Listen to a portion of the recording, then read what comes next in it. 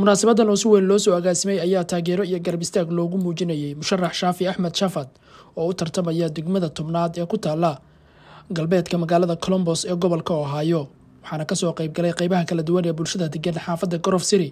Culamaa udiin xubno isugu jira madax iyo senatarad ka socota xisbiga republicanka iyo taageerayaasha musharaxa. Ugu horeyn waxaa goobta si guud loogu akhriyay taarikh nololeedka musharax shaafi shafad doorkiisa waxu qabashada communitiga soomaalida iyo heerkiisa aqooneed And so, ladies and gentlemen, esteemed guests, and community members, welcome to our event in support of a remarkable individual dedicated to transforming our community for the better.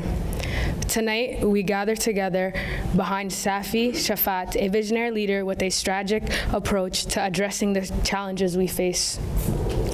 Safi Shafat embodies a commitment to tackling crimes, economic struggles, and social divides with a thoughtful and comprehensive strategy. His vision goes beyond quick fixes, aiming to build a thriving community that prospers in every aspect, socially and economically, and in terms of public safety.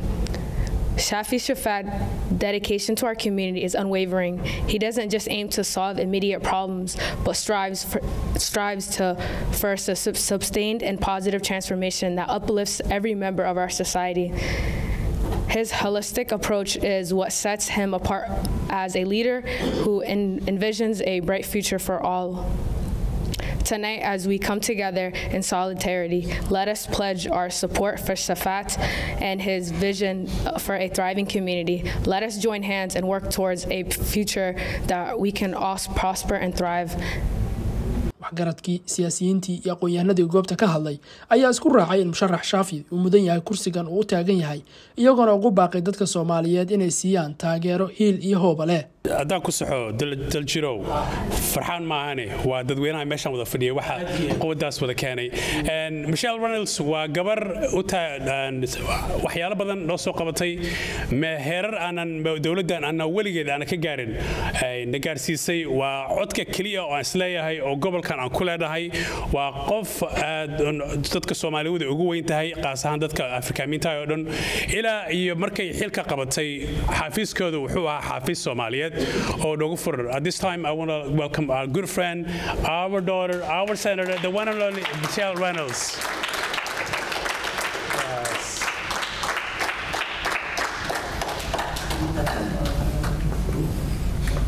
Thank you, Farhan. Salam alaikum. about this. Well, good evening. It is truly an honor to be here with you this evening for this momentous launch for our dear friend Shafi Shafat. And also, I'm here supporting uh, Hussein Jabriri, uh, both of them running for state representative. As you know, I am your state senator that represents you here on the west side of, of Columbus. I got elected last year, and it was this community that really stood up for me and made a difference. And so here I am. Um, I want to stand up for both of these men as they pursue their run for state representative. I want you to know that they definitely have what it takes. Uh, Shafi is truly a leader. When I first met Shafi um, on the campaign trail, I mean, he went really, really hard. Uh, he's someone who cares about business. He cares about the, the community. He cares and he has ideas for solving problems. And to be a good legislator, that's exactly what you need. You need someone that has a thick skin, someone who has a heart and compassion and is very professional that is going to take us to the next level. And so, for a pathway to victory, uh, we not only need good candidates, but we need voters. And so, that's really where you all come in. It's going to take going beyond the Somali community to get Shafi and even Hussein elected. We can't just focus within, we have to look without. And so, I applaud this community for being at the Early Vote Center every single day, trying to turn out the vote, um, but you need to know that you also have support. Now, this is what's called a primary election. A primary election simply means that um, in this election, in a couple days, I think we have about 10 days left, in this election, this is going to determine who goes on to the general election to be named the state representative, and that won't be until November. So, Shafi currently has an opponent, and that is uh, a man by the name of Brian Garvine. So he has an opponent, and he needs our support to come out and make sure that he prevails. Because if he does prevail, then he will be able to go on in November uh, to go against the Democrat who is running for this seat. Okay?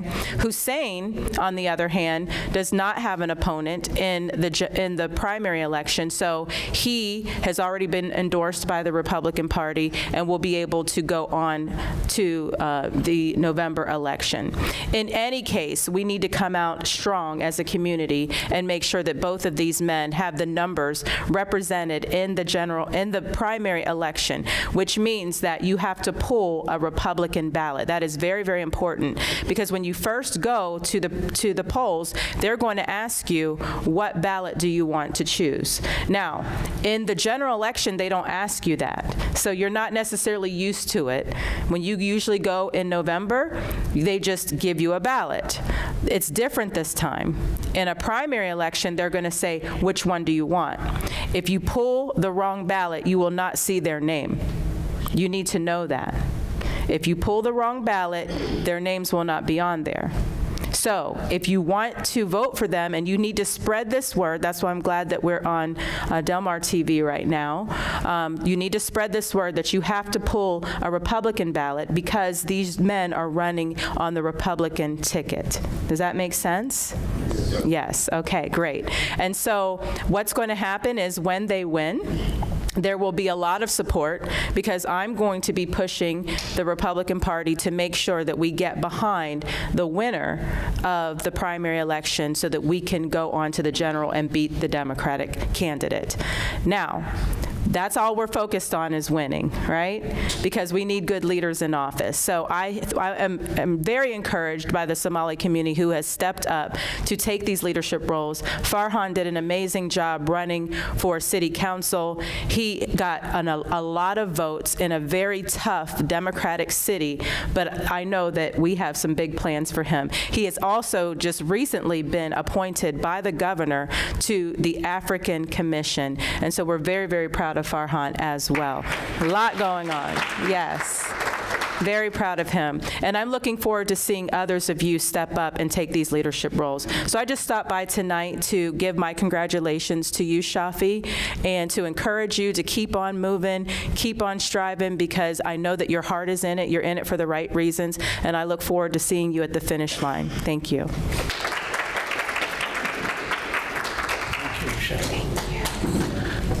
Aad bay u mahadsantahay michel de waxyaabo badan oo ay ka dhawaajisana kolley aad baad ugu dherigteen halkaanu joogno waa isla maraykankii soo maha waa tahay waxaan u rajaynaynaa haddii allah wadi lagodo labada musharax ee hortiina fadhiya. Dee maalmaha ka marka doorashooyinka xagga loo eego maalmood in ku siman ayay tahay. Tobanka maalmood ayaa la doonayaa dhinac walba taageero looga baahay in looga sameeyo. Weliba special inay dadku si ba'an ugu soo banaanbaxaan oo dabeetana aad dadka ku dhiirigelisaan si ay doorashooyinka u qaybgeli lahaayeen barnaamijka ayaan halkeena ka sii wadanaynaa koley michel waxaan u malaynaa meel kale ayay shir kale ku leedahay ku sii jeedaa. Dad kale ayagana gadaal inoogu imaan doona naftir ahaantiriga dadkayga qaarkood meelo kale ay ku sii wajahan yihiin waxba hadalka idinku dheereen maaye. Taajirkayga westigaan soo qabta markan. Marmar inanu dadka taajiriinteeda soo qabana soo dawma. Horta taajir ma leenahay nin baasha haya xagga iyaga westiga nooradku waa maqlaa. War waad ka baqaylaysaan anaa indhaha ka riday. Axmed maxamed xaamud meey talow. Xaamud ku soo dhow mikrofoonka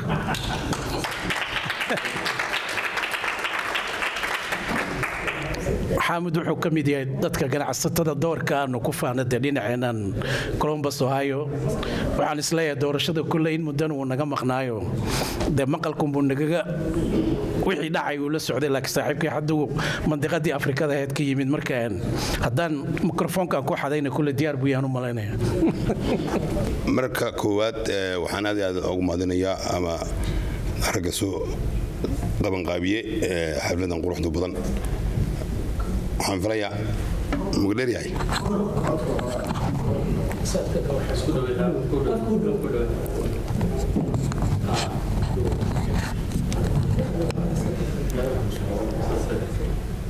waxaan filayaa waxaa wuu igu gaado baasha. Oo uma talagelin inaan hadlo.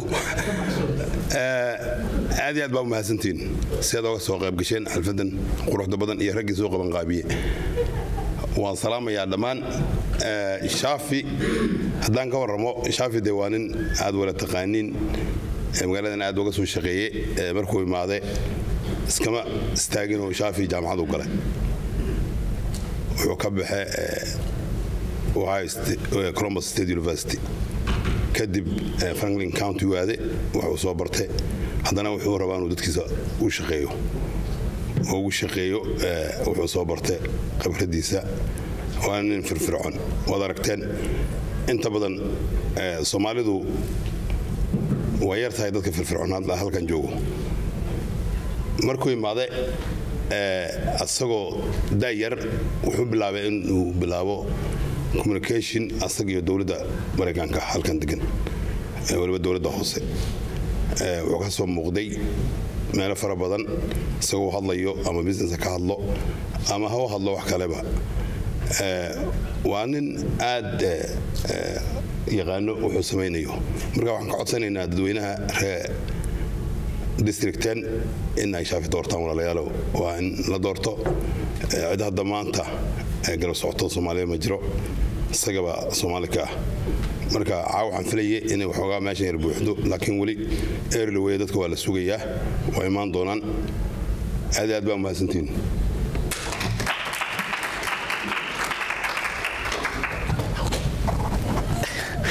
aad baad u mahadsantaha intaa yartun baanu kaa doonaylanka waxa maaha si kale aad noo dhigdhigi doontaa waa tahay aad buu u mahadsan yahay xaamud bulshadeen dhargaratada ayuu ka mid yahay magaalada colombos ohio.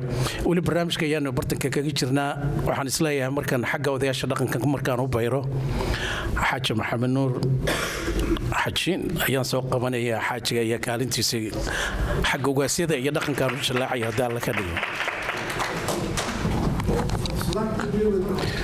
suldaanka liiskiis haya may idinka markaa si gaar aad meel idinkaga yeedho suldaanka ku horeysa lakiin annaga kuweyna iska goolaaftan bismillahi raxmaan raxiim asalaamu calaykum waraxmatullahi barakaatu ilaahay baa mahad iskale meeshan ugu sukeenay eh, xafladdan ilaahay baa mahad iskale ilahay baan u mahadinaynaa gaar ahaan haddana waxaan mar labaad u mahadnaqaynaa dadka xafladan aad ugu soo rafaaday ee xafladan inoo qabanqaabiyey waxaanoo qalaba iyo hawshan dhigay aad baan ugu mahadnaqaynaa. Gabadh iyo gabdhiyo wilalba aad baad umahadsantihiin iyo gaar ahaan iyagana qolyo dadka dhaxanta u taagan maalmaha doorashadu way socotee. Ama dadka qaadaya ama meesha food ka dhacaya dadka hagaya iyo wilasha waxduubaya ee tifiyada dhammaantiin aad baad u mahadsantihiin runtii wax badan baad haysaan aad baan idinku mahadnaqaynaa nin walbana maalin buu leeyahayoo waxaa laga yaabaa maalin haddii aad walaalkaa dhib gashato maalin adna meel buu kaaga soo bixi. Marka insha allaahu annagoo rajaynayna in shaafi inuu guulaysto baan rajaynaynaa ilaah idamkii dadkii noocaasa ama dadaali doona ama dadaalay runtii waxaan leeyahay waxay noqonayaan hawsha la qabtay ee lagu guulaystay dadkii buldhigaha u noqon lahaan bay noqonayaan. Gabdhi iyo wilalba aad baad u mahadsantihiin waxaan kaloo rabaa inaan u mahadnaqo dadka caawa halkan imaaday wakhtigooda soo geliyey dhammaantiin. Odayaashii iyo culimmadii iyo gabdhaha iyo suldaamada iyo aad baad u mahadsantihiin intaa kadib haddee hebel waxaad ogtahay makuu sheegaa buuri waxaa meesha isugu imaanay waxaa weeye uun ninkaas shaafiya iyo wiilasha soomaaliyeed in la taageero la doorto oo hiil iyo hooba maxaan ku dhahaa wixii lala garab istaago. Waa gabagabo. Runtii hawshan waxa dhexday hadda maraysaa oo hawl bilaabatay oo meel dhex hadda maraysa weeye oo gabagabo ku dhow. Inaan maaragtay guusha laga qayb qaato nin walba ka qayb qaato horey haddaad uga qayb qaadatay waad mahadsan tahay laakiin intaan ka qayb qaadanin inay jaab iyo maxaan ku dhahaa juhdiba in laga qayb qaataan aad yaan maarata codsanaynaa. Ilahayna waxaan ka rajaynaynaa dhib muslin oo maar hawl markaad qabanayso waxaa la yidhahaa ilaahayow dhib muslin wixii aan ahayn ilaahay kaama baryin. Muslim dhibi mahaye sharka kaleo dhanba ilahay iga nabadgeli. Hawshan waa hawl dadka soomaalida ama islaamka wax u taraysa wey oo guul u ah oo waxtar u ah. Marka waxaan leenahay dhammaan rag iyo gabdho iyo walaalba ha laga qayb qaata hawshan. Shaafi aqoontiisii iyo sida uu yahay waxaa ninkan hore u ogahayna dadaalka hadda ka dhacaya. Yaad aragtaaba waana laga warbixiyey waxaan u malayn dhaarweyd baan waxaan tagnay meel anu dadka haddii ilaahayd ugu dhowaan ka mid ahay. Waxyaaba aan ogeyn baan ugu tegay soo haya oon yaabayba. Guryo dhanoo kan la egoo tv ku xidhan yihiinoo intaasoo xafiis. War goorma waxaan furay baan idhi. Ilaahay ha la kaalmeeye marka ninkan waa nin fara badan oo waxaan umahay dowladdu hadda dowladdiisu dhex galo uu mar uu kulaastaa arko. Dad badan buu ka qayb gelin lahaa ilaahay amarka mooyeen. Marka ninkan waa nin waa mashruuc waa dowladdanoo guuraysa ha laga qayb qaato aan garab istaagno runtii. Nin hadda iska soo kacay unoo sakaraadahoo buulkiisa inuu ka soo baxay. Wax doona maaha ninkan. Waa nin meelo badan maray madaxweyne aan ahay kan baan ahay adduun. Waan aragnaa wuxuu maaragtay uu marayo. Isagoo dhadhamiyey oo siyaasaddan dhex galay oo meel dheer tegin waxaan u malay soomaalida inay inaan aad ugu dhex muuqan lahayn dowladda. Marka insha allah haddii ilaah yidhaa ninkaas aan taageerno jeeb caa waxa laga shanqariyey in la yidhaaho waxa la yidhaha faraysin waa run. Faraysiinku hal maalin keliya maa inkastoon horey wax u samaynay. Laakiin waxay waa joogta hawsha ma dhammaanin faraysinka waa in la wado. Ninka caawa dhiibi kariya ninka berri dhiibi kariya ninkii dhiibayba ku daal male wax laga daalay maaha waa beli baahidii way jirtaa. Xagga faraysinkana waa intaa. Aad baad mahadsantihiin waxaa kaloo raba inaan iyadna raaciyo ninka la yidhaaho jaabiri oo nin haddee isagana aad ogtihiin oo isna jaafi six miyuu ahaa? Isna meeshuu taagan yahay waa qayb anoo aan ku jiro weeye marka xilligiisa la gaadho markaas aan waxay arki doontaan jaabiriyow markaas xilligiisa la gaadho markaas waxay arki doontaa haddii ilaah yidhaha waa kuu laakiin hadda shaafi wax la qabo adiga iyo bahdaadaba hadhowna waa kugu sane kugu sare adaaba arki doona insha allah waxaan qaban haddii ilaah yidhaha ilaah idamkii jaabirina waa intaa waa isaga aqoontiisa dee la iskaga sheekayn maayo unsar xataa qaxootiyadu la shaqayn jiray ninkan waa nin soomaalida iyo dagaalooyinkii iyo dowladahan aad u yaqaano wey. Edebna lahoo libaaxa oo aad aad u wanaagsan wey ninkan marka jaabirina waa saas. Waxaa kaloon rabaa inaan wax yar isagana ka taabto ninka la yidhaaho jeyte jeyte waxaan u malayn waa isla garanaynaa soomaali haddaanna jeyte horta runtii annagoo nool inaad mar kale meel soo qabsataa kugu filaan lahayd. Waa halse ogow. Qof soomaaliya meeluu jooga ha isugu dhowaanin oo kaaga horreeyey sidaad hadda beri dhoweydoo kale meel cidlaa soo qabso. In lagu taageeri oo soomaalidu ay wax kaaga kala hadhayn waad ogaatay adugu. Inaan runtii mar intaan kugu guulaysana jeyta caawa xafladiisa la joogaa la yidhaahna ilahay baan ka barya anugu. Maxaa yeelay xanuunkiina qabtay baan garan anigoo ilaahay baan ku dhaartay weel hoosba habeenkaa ka shaqaynaya lagu dhawaaqahayay shaqadii intaan ka soo dhuuntay oon bannaanka u baxay yaan xasadheere soo wacay. Oo war xasanoo khayr sheeg baan ku bilaabay. Markaasuu qoslay qosalkaadaan garana waa sidee baan ku dhiga war taleefanka geedaa baan ku dhiga baleeg hadda. Marka jeyta adigana maarata cajisin laakiin meel qof soomaaliya taagan yahay u dhowaanin. Meel gaara soo qabso in badan baa idiin mahadnaqi jasaakallah khayr sudaanka raalli ahaado waa lagu soo dhaweyn adigana ninka le shaafi aan. Garab gallo hiil iyo hooba ninka waa dowlad guuriye niman yahow aan shaafi aan meeshan maaragtay ilahay idimkii ilahayna aanu barino asalaamu calaykum waraxmatullahi wabarakaatu aad buu u mahadsan yahay oday xajin. Ninkii ugu daqiiqadaha badnaa mikrofoonka ku dhego awgaaska dee looma gela xaajaxaji waxa weeyaan dee cidaan dhaafay malo yidhi. Anun buu ilaabay inta miiska fadhidoo dhow wada mara hataa dadweynaha taa u galay. Aad baan kugu mahadinaya saasaa loo baahaya mahadnaqa bulshada in loogu jeediyo. Waa tahay xaggii dhalinta arrimaha doorashooyinka la halmaala oo weliba sida dadka door dad iskuma jiraan de sida geeli iyo ariga loo kala baxay. U malaynayn baasha mar dad baa meesha waxay ka dhigteen hoy meesha franklin county mayor morris road meesha ahayd. Ninbaa dharaarta ilaaha keenay saacadda alla keenaba taagnaa. Iyo qolooyinkan hal maalin oo cod ka soo ridnoon ka soo dhaqaajinay. Waxay macnamaysa ninbaa kontraat ku qaato yar walaa halkan waa dhaafan. Yaa dad wada keen soo geli ku tur lahaa.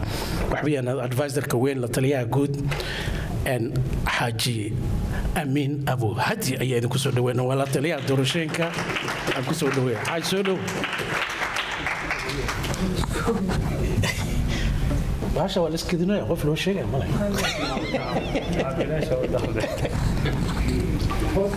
asalaamu calaykum waraxmat ullaahi wabarakaatu akhyaarta sharafta le waa idin salaamay dhammaan si guud rag iyo haweenba bacdisalaan kolley waa maanta saaxiibkayga daljir wuxuu ku talagalay.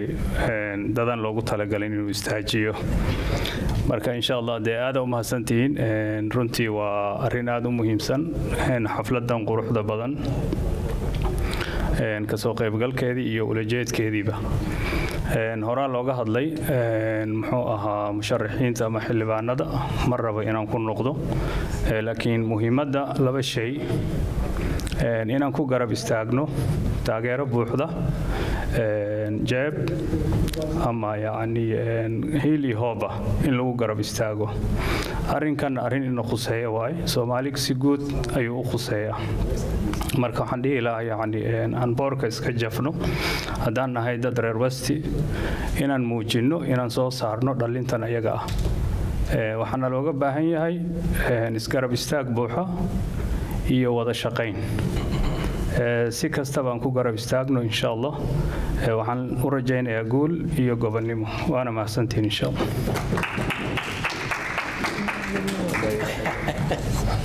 waa tahay aad buu mahadsan yahay amiin dadku qaarkood horta idinla kaftam haddaan idhaahdo oday hebel baa hadlaya ama xaajiye hebelad baa hadli doonta.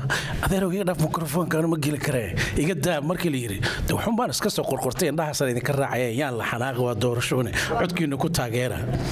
Waa tahay markana u baaqo xagga dhaqanka iyo waan suldaankii iyo waxay barnaamijka liis dad odayaal fara badanba waxay leeyihiin suldaankiiba halkaa fadhiya anigu baad noo yaryeeraysaa suldaanka kaydkoo ku jira barnaamijka kaydka wax la yidhahdo mataqaanaa markan aan ku horays iyo aan soo qabta markana daahir cumar ayaa markan isagan ugu baaqayaa maadaama oday way araga magaalada columbus uu yahay. Waxyaaba fara badnaa arrimahan doorashooyinka bulshada dhaqanka inta door wax kool kaga jira daahir cumar ayaa idinku soo dhaweynaya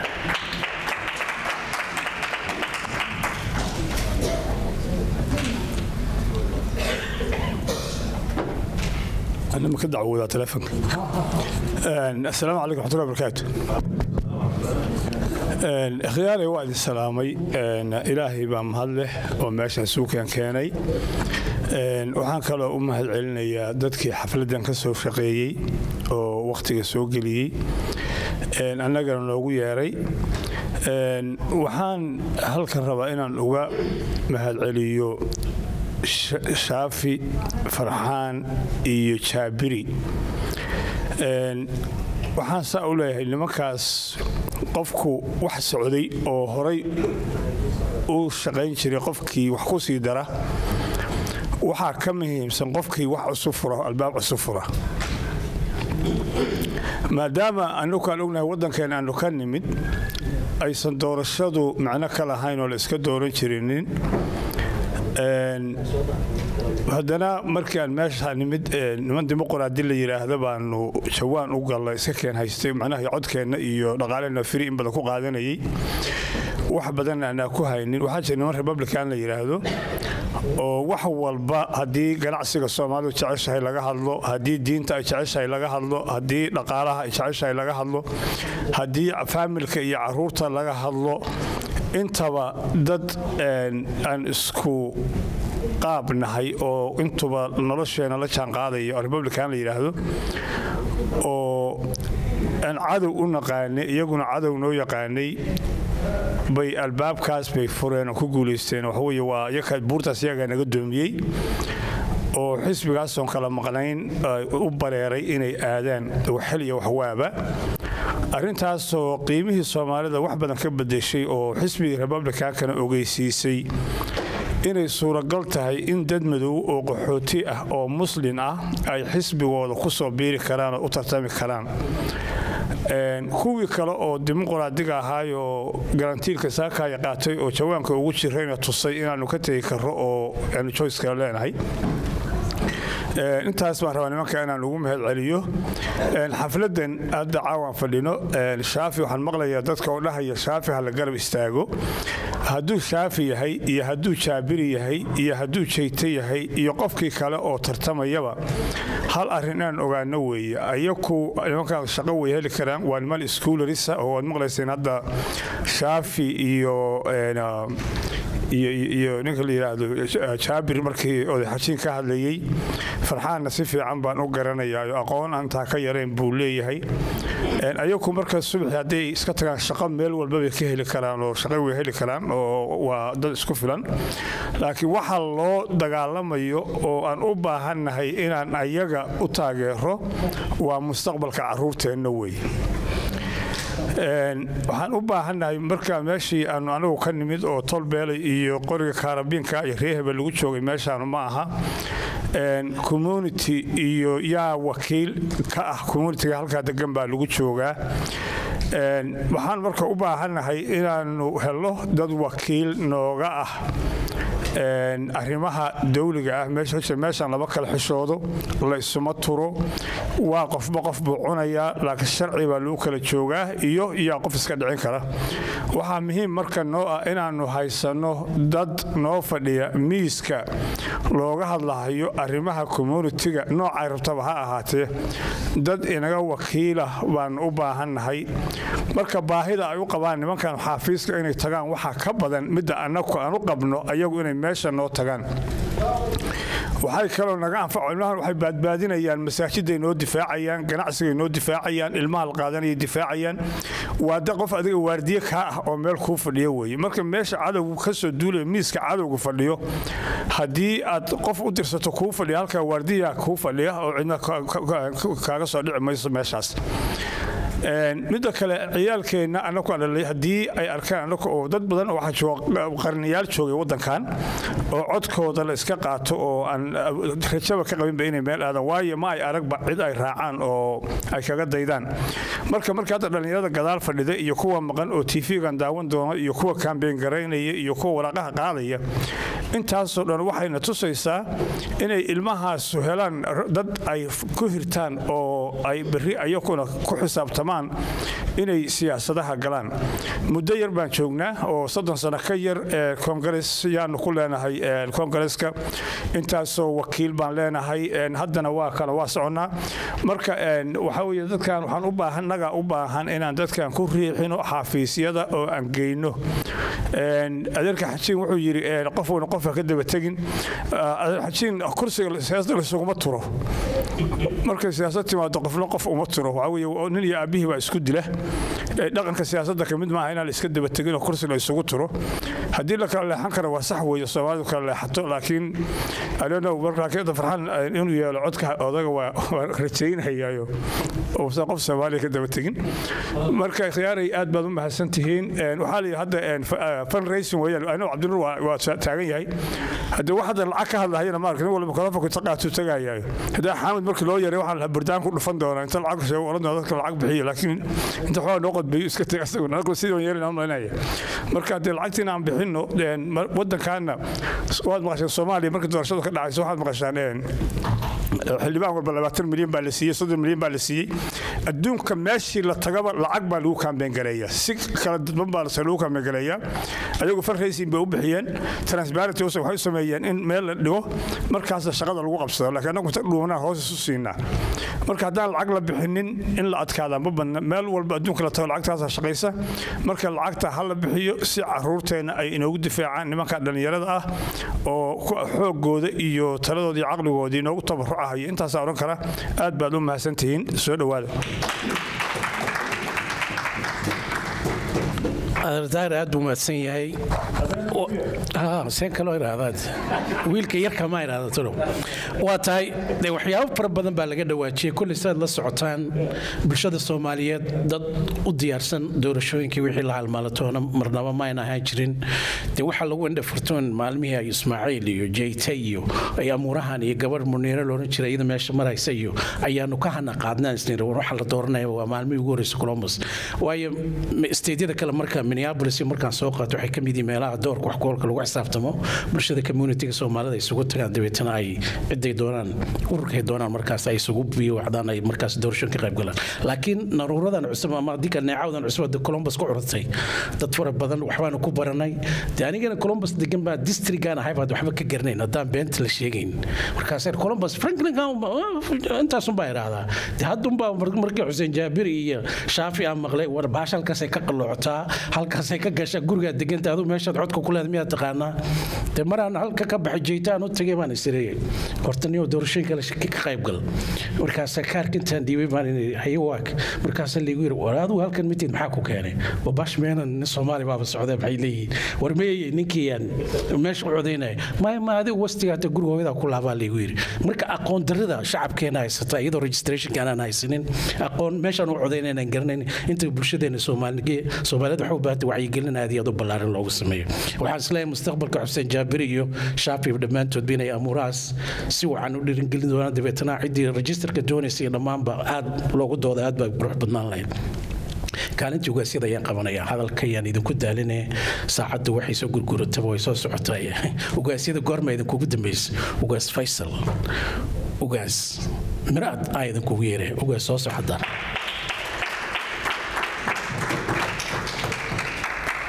ugaas ganacsataaasaa igu horeeyey oo columbus ka tirsan ugaasyadoona bakooradii alaab qurux badan bay qaad alla maraykan iska aamus. Asalaamu calaykum raxmatullahi barakaatu eh, bismillaah alxamdulilaah wasalaatu wasalam calaa rasuulillaah eh, dhammaan akhaarta ka soo qabgashay xalfadan way mahadsan yihiin.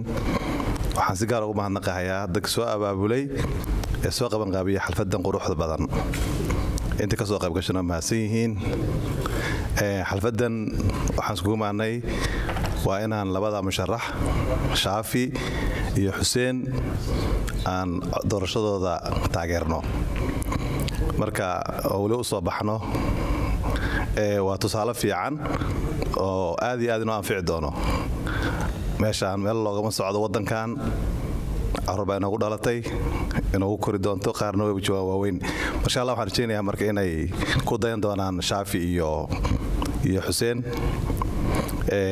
Waxaan isna u mahadnaqahayaa musharaxii dadaalay. Ee aad iyo aad farxaan jeete. Aad baan u salaamayaa u mahadnaqayaa inuu soo dadaalay. Insha allah waxaan rajaynaya inuu midda dambana uu ku soo bixi doono. Marka aad iyo aad waad u mahadsantiin dhammaantiin. Haddee waxaa la yidhi maxaa haray baa loo hadlaaye anaa haray looma hadlo. Wakhti gaaban hadalkiisana gaaban. Dhammaan baa u mahadsantiin waa mahadsantiin marka allah aad aad waa mahadsan thank you thank you waa tahay ugaas faysal aad buu u mahadsan yahay. Bartankii ayaan ugaasyada dhex mushaaxaya. Marba qayb baan ku jira hela yaaban maraan ganacsatayda soo qabto. Kaalintii ugaasyada haddana isdabadhigaya goormaa kuugu dambaysay suldaan faqiye oo masraxan oo kale soo taago. Xafiiska doorashooyinka iyo dhallinyaradan ayagoo meesha hareerihiisa fadhiya. Suldaanka waxuu ka mid yahay bulshada dhaqanka ee columbus ohio dadka tiirarka waaweyn ee lagu dayda ayuu suldaan faqi ka mid yahay. Suldaan ku soo dhawow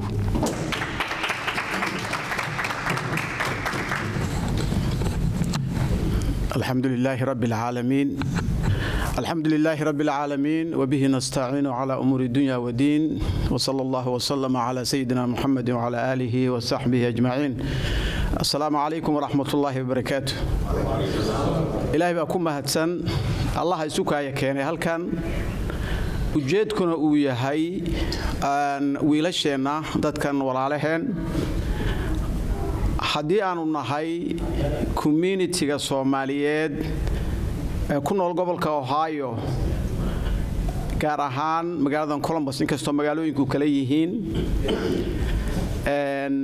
district wax la yidhaahdo ay ku kala duwan yihiin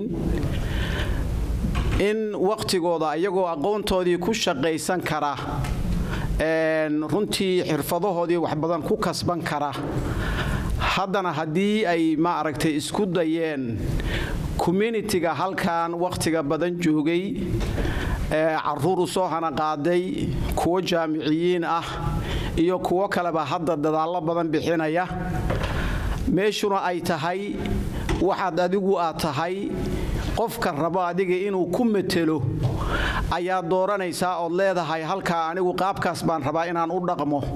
Qofka noocaas ayaan rabaa maaragtay inaan codkayga ku biiriyo suu arrintaasi maaragtay mas'uuliyaddeedii aan biri kula xisaabtamo. Horta annagaa u baahan communitiga soomaaliyeed ee muslimiinta ah iyo inta kale dhaqanka la wadaaga. Dadka noocana wakhtigoodii huray runtii ee u baahan maantana garab istaag berri ilaa iyo guusha laga gaarayo oo ay rabaan inay kugu matelaan waxaan u baahannahay dadka noocaasa inaan wakhti badan gelinno. Guusha la gaarayo wakhtiga dheer ee codadka la bixiyo mid early voting la yidhaahdo oo waa mid soo degdega oo wakhti badanoo si tartiib tartiiba u socda iyo mid maaragtay marka u dambaysa ay noqonayso maaragtay waa wakhtigaasi aan loo kala harin sida dadka iga horeeyaba ay sheegeen meelaha qaar hadda aniga oo kale communitiga inta badan xooga badan aan matalo magaalo waxaan deganahay blacklick ohio la yidhaha waa eastiga. Dadka inta badan musharaxiin ay ka horeeyeen raggana oo farxaan jayte uu ka mid ahaa inkastoo meelo badan maaragtay looga codeeyey. Waxa weeye ma aragtay ilaa iyo noorodkaasna waa communitygeenna aad bay ugu badan yihiin. Marka annagu waxaan u baahannahay laga soo bilaabo early votingka da'yarta dadkan garab istaagi lahaayeen dadka volunteeriga kula shaqayn lahaa haddii gaadiid uu yahay haddii boorarkii wixii la qaybinayo ay yihiin haddii dadka aan soo gaarin waxaan filayaa codadkeenna inay meelo badan gaari doonaan laakiin haddana boorarka quruxda badan ay ka turjumaya qof walba districtiga uu maaragtay uu metelayo dad baa ku nool oo haddana dhaqan ahaan la dhiban hadday carruurta yihiin ama haddii kale waxyaabo badan aanan ku faraxsanayn inuu maraykan sidaa ku ahaado ee bal u baahan yahay berri kugu mateli karo codkaaga ku biirisaa oo arrintan kaa dulqaada. Marka dadka noocaana runtii waan u baahannahay tijaabooyin badanna waan soo gallay. Rag badan oo soo tartamayna ma aragtay waa la garab istaagay. Way noogu guulaysteen runtii. Inay isteedyada noo maaragtay noo turjumaan. Caawa waxaan u taagannahay ragga maanta runtii xafladan shaafi iyo xuseen jaabir shaafi shafaad iyo xuseen boorarka waaweyn ay soo dhejiyeen. Waa kalsoonida ay isu qabaan. Waa ayagoo raba ka matelayana marka in maartay dadkii iyo communitiga ay matelayaan qof walbana districtiga uu ku qoran yahay kalsooni badan uu ka haysto gabadhii inaga horaysay baa haddii aad garanaysaan si xoogaa qeexan oo kooban u sheegtay annagu marka waxaan u baahannahay haddii ilaahay raalli ka dhigo dad intan ka badan baa runtii haddana alxamdulilah waa runtii xaflad qurux badan. Dad aan soo wadayba waxay yidhaahdeen xoogaa meel kale ballamo kale ayaa nagu furan suldaan laakiin haddii ay tahay tabaruca iyo haddii ay tahay codbixintaba maanta ayaa laynooga fadhiyaa haddaanu nahay dadka reer westiga farrintaasna waan idiin wadaa waxaan u baahannahay haddii ilaahay raalli ka dhigo mawjadaha faraha badan ee inagu furan ee aan leenahay carruurtiibaa xabsiyo inaga galay ee aan leenahay dhaqankiibaa waxaa ku soo biiray waxyaabo runtii ee aad u xun. Dadkii inta dhihi lahaa annagu ma qaadan karno annagu qaybtaa ma metelo dadka dhihi lahaa berri maartay haddaan rabna inaan uga codayno ayaguna berri ilaa iyo maartay white house-kana la tagaan oo yidhaahdaan kaljarada maaragtay annagu aan leenahay waa noocaas. Haddaan u baahannahay hooyada sirisanka haysata ee guriga la joogta ee maanta codkeeda halkaa cod lagu guulaysan karo waxaan rabnaa baraaruga noocan inaan gaarsiinno oon u sheegno. Da'yarta berri dadkan dhaxli lahaa kuwa ku xiga noqon lahaana haddaadan hadda ku garab istaagin oo qaabka maaragtay loo baahan yahay maaragtay iyo wixii maaragtay arrintan soo saari lahaa. Haddaadan ku garab istaaginna waxba ma samayn karno runtii. Yaynaan noqonin community faashil ah oo dhaqankoodii inta hadda nool inaan annagu ku baaba'no kuwa dambena maaragtay ay fara ka baxaan. Si aan u kontaroolno waxyaabahaasi oo dhan ifafaalaha wanaagsan ee hadda aan joogno waa wakhtigan yar aad u hurayso waxaan rabaa hadalkayga inaan ku soo gunaanado halkan barnaamijka ama kulankeennan caawa wuxuu ku saabsan yahay contribution. Kaasoo ah waa qaybta ugu muhiimsan aan marna laga maarmin. Jeebka in gacan la geliyo daahir iga horeeyey baa sheegay cidna ma soo hadal qaadin. Waa in la dhihi karaa qofka bani aadamka ah soomaalida garab istaageeda oo dadka ugu mahmaha fiican runtii.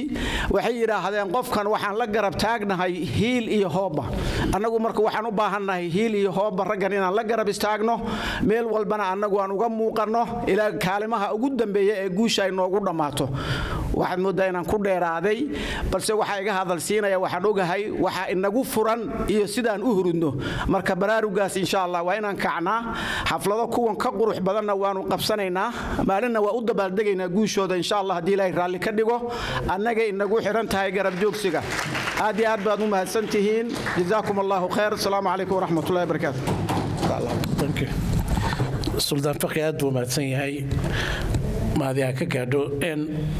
Koley waxaan filayaa gooro dhow haddii abakaraan noqdo xaggan. Mar haddaan suldaankii ka bilaabay iyo inta ku xigta koley wadadig garanaysaan baan u malaynayaa laakiin kaalintii aqoon-yahanada ayaan markaan soo dhaweynaya ganacsado weyn oo magaalada colombos caanka ah cabdinuur cabdiwaaf xaashi ayaan isaguna kaalintii kaga beegnayd halkan isagana ku soo dhawo cabdinuur soo dhowo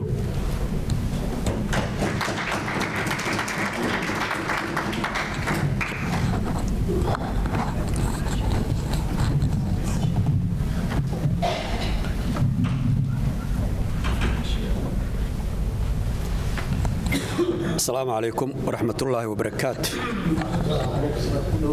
Maalku ma shaqaynaya?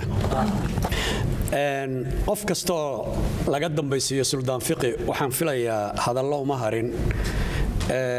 Wuxuu ka hadlana meesha. Waxay noqon doonaanun iska dheh. Suldaan fiqi waad mahadsan tahay gubaabadaada iyo taladaadaba anigu waxaan ka imid noordka halkaana waxaan u imid master shaafi shaafad oo qofay saaxiib yihiin baa halkaan igu invaadgareeyey caawa. Sababtaan u imidna waxaa weeye mar kasta horta waxaad moodaa inaad dansannahay dansanaan waa taqaaniin soo maaha. Meeshu inay buuxdaa la rabay waxaa la yidhi marka meeshu haddii ay yar tahay dadka waxaa laga rabaa energy inay muujiyaan. Enerjiga af soomaaliga waa tamar. Tamar inaad muujisaan baa la rabaa in dad waxaa la yidhi hadda ka hor yadii baa maraykanka. Ninbaa wuxuu isku sharaxaya kongareeska wuxuu ijaarteeyey stadium meel la yidhaahdo oo la ysugu yimaado. Stadiumkii markuu ijaartay wuxuu ugu talagalay dad ilaa waagaasna dadka maraykanku waxay ahaayeen ilaa toban milyan meelahaas. Meeshii markuu yimid buu wuxuu ugu yimid ninkaa booya iyo sacu wato dibi baa la yidhahdaa dibi watu ugu yimid. Dadkii uu casumay oo dhan hal qof kama imaan asagii iyo ninkii kambayn manajerkiisa ahaa iyo xoghayntiisii baa meesha soo galay. Markuu soo galayba wuxuu arkay saddexdan qof oo meesha taagan. Wuxuu isweydiiyey marka ma hadashaa ma khudbaysaa ma noqotaa maxaad samaysaa? Ninkii saca dibiga watay baa wuxuu ku yidhi inta dad vooda oo caqli lehoo caawa wakhtiga u weyday inay halkan timaadana anaa wakiilka ah. Intaan caqliga lahayn oo xumaanta iyo caqlixumada iyo tabarla'aanta u imaan weydana dibigayga wakiilka ah.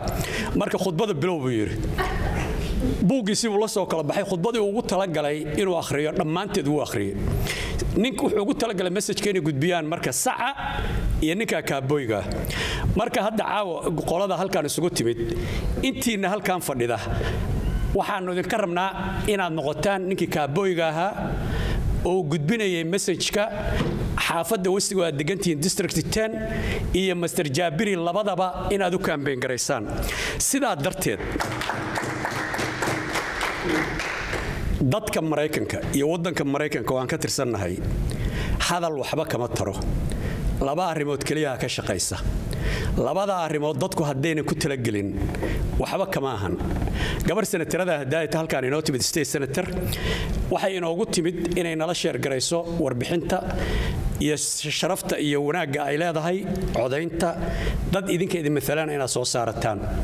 Sidaa darteed laba shay keliya ayaad wax ku tari kartaan.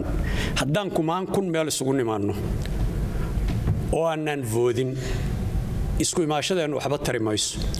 Number one waa votka codka qofku inuu muujiyo oo dadaalo oo tago oo soo codeeyo waa number one. Qodobka labaad hadduusan qofku lacag uu ku kaambengareeya uusan haysan. Dad badan baa ka hadlay meesha. Ma ahan hadda waxaad moodaa in enerjigeennu u yaryahay tabarteennu u yartahay qof walba xoogaa jeebka inuu hoos u eegayo. Waxaa laydinka rabaa jeebka haddaad buuggii ka soo tagteen inaad la soo baxdaan. Waxaa laydinka rabaa haddii aad kaarka wadataan inaad siisaan ziila shaqaysa. Waxaa laydinka rabaa sababta halkan laydinkugu yeeray ma ahayn in shaha la cabo waxay ahayd in jeebka gacanta la geliyo. Sidaa darteed ninkii kaaboyga ahayoo saca watay. Ninkii u yimid inuu maaragtay uu ugu yimid inuu u kaambeyn nimankan caawa halkan inuugu yimid caawa waxaa iskale xafladda madarshaafiya waa in uu noqdaa nin halkan asagoo faraxsan caawa ka tegey waxaa jira shir kale shirar kale magaalada ka jira oo socda dhowaan baa la aadi doonaa. Laakiin intiina halkan isugu timid ka soo qaada hadda boqol qof inaad tihiin waabad ka badantihiine boqolkaa qofi waxay ka xoog badan tahay toban kun oo qof aan macno lahayn haddaad tobankiinuta isku tagtaan mid waliba toban qof u gaarsiiyo. Boqol qof haddaa inta tihiina mid walba uu toban qof ama boqol qof gaarsiiyo. Kun waxaad noqonaysaan waxtarna leh qiimaynna leh.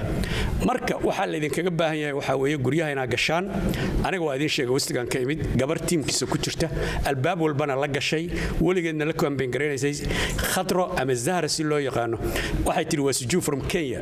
Marka waxaan idhi awal helbihim iyaduna waa sujuu kenya ku dhalatay marka waxaan filayaa hadday sujuu yihiin iyo hadday soomaali galbeed yihiin iyo hadday soomaali yihiin jabuuti iyo inteenna caalamada kale soo macnaha la'aantaa samaysatay haddaan nahay waxaana looga baahan yahay hal midnimo oo ah soomaalinimo soomaalinimo wax ka yar inama qaadaan wax ka yarna inama deeqaan wax ka yarna macna inoo samayn mayaan. Caqligeennii iyo aqoonteennii iyo sharafteenii iyo dadnimadeennii iyo kartideennii waxaannu isugu geynay calan calal ah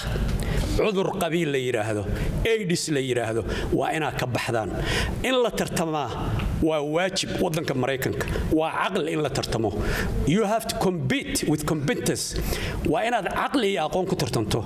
Laakiin micnaheedu ma ahan inaan isdistroy garayno oo istirtirno oo isnacano oo la kala geeyo dadka soomaalida ee magaalada degan waa inaad isku timaadaan waa inaad caqli yeelataan. Qabiil hadduu waxayna tarayo soddon iyo shan sano buu halkaa ina dhiga meel laynama geyn. Suldaan fiqi baan wax badan ka sheekaysannay asagaana wakhtigiisi iyo noloshiisiba wax badan ka soo cayaaray. Laakiin waxaan idiin sheegayaa ka taga sida caawa halkan aad u fadhidaan. Waxaa ii muuqata qabiilna ma jiro soomaalinimo weyn baa ka muuqata sharaf weyn baa ka muuqata. Sidaa darteed gacmaha intay isqabsataan. Qabiil diidnay qurunkiisa diidnay sharafxumadiisa diidnay soomaaliya keliyahana deeqda soomaalinimo keliyahana deeqda. Doorasho aanu soo saaranno dad ina anfaca oo ina maala oo waxa aan rabna inoo sameeya baa ina deeqda. In ka yarna nama deeqdo in ka yarna ma rabno. Jeebkana gacanta geliya. Wasalaamu calaykum waraxmatullahi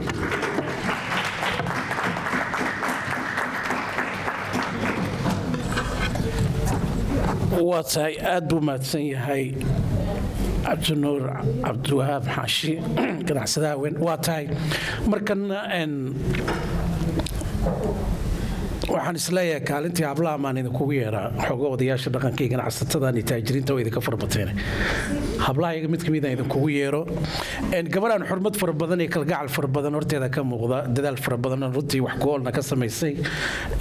Siduu ka dhawaajiyey cabdinuur xaashi cabdiwahaab xaashi saara sahre cali gabar walaashaya shaafina walaashiis ay tahay idinkuna walaashiin ah odaygaana walaashiis ay tahay gabadha kale walaashiis ay tahay sahre cali ku soo dhow waxbalada kugu daalina sacab fara badan aa loo tumo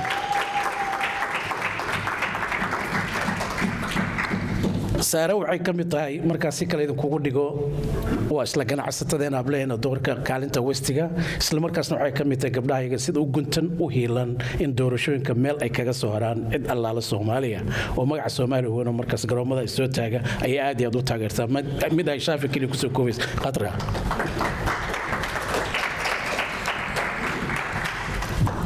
bismillaahi raxmaan raxiim assalaamu calaykum waraxmatullaahi wabarakaatu dhammaan waa in wada salaamay. Odayaal ma dhihi kara inamada iyo hablahabo. Magaceyga waa sahre cali from colombus ohio westside ma ogeen sidii dadkii hore oo kale inaa hadlayo laakiin dee waxaan ka hadlayaa un ma arkino inay doorashada wax muhiim tahay. District six iyo district ten baan u codayno xuseen jaabiri oo derisna aan marna walaalkay ah iyo caawi xalfadda oo uu leeyahay walaalkeen shaafi shafaad labadaba waa labadayda garbood. Marka waxayna leeyahay albaabada hala qaraaco hala dadaalo waqtigu waa yaryahay bishay ku eg tahay. Hadhow ma moodayn ma malaynayn yaana oranin qof kasto intaas waa xagga baraarujinta aan ina siinayo. Nafsadeyda ka bilaabato. Midda labaad haddaan shaafi u soo dhaco shaafi shafaad codad hore aan hadda ka horena sheegay way jirtay. Waa inan aan ani asaga kenigar to high school isla soo dhammaynay hal meel weel cunnay daris iyo jaarba waxaa la dhahaba aan soo noqonnay wadankii halkan dadkii markuu soo degay ku soo dhaweeyey gabadhiisii iyo ciyaalkiisii iyo asaga aniga ba ahaa. Qabiil ma jiro labadee ma arkino labadeena laba walaalo un baan nahay marka waxaan iina leeyahay codkiina siiya. Waxaan u leeyahay waxaa waaye wuxuu taray wuxuu gudaan ogahay. Ma aha qof oo ku salaysan ma arkino nolol maanta ka qaba meeshanayto howshan hadda uu gelayo boqolkiiba sagaashan iyo sagaal. Xagga dhaqaalihiisa markaa fiiriso waa yacni download way hoos way hoosaysaa. Laakiin wuxuu rabaa inuu bedelo nafsada ciyaalada halkan ku korinay hadda hooyooyin badan maalin hore waxaan aaday aroos walaashay iga yar oo disembar magaalada nairobi. Nusow nus hooyooyinka magaalada nala deganaa waxaan ku soo wada arkay islii waxay dheen waa soo wada cararnay isteedyo kale iyo meel kale waa ka wada yimaadaan magaaladeennana ha u badnaato. Waxyaalo badanay ka hadleen waxaa ka ah in ciyaalka hataa markii jinsigooda la bedelayo la weydinayna waalidka. Fasax oo laleeya cunugaada toddobada sano hadduu jiray hadduu lix sano jiray hadduu toddobiyo toban jiro mas'uulka asaga iska ah oo macalinku wax u sheegi karaa la showri karaa sidanaan damacsana uu oran karaa. Waxbana kama oran kartid. Waxaana ogtihin sharciga hadda wadankan aan joogno cunuga hadduu iskuulka uu ka gaabiyo oo maarkino uu tegi waayo in waalidka maxkamad la geynayo. How comes am responsible iskuulka markay tahay? Oo uu absent u noqdo laakiin marka kale aanu u noqonin. Marka waxaad marmar markaa fiiriso waa wax maskixiyan. Ma arkino annagana lagu beerayo. Inaa aamusno marka hore waa lagugu baraabaynayaa. Inaa aamusta in kalaa la eegayaa.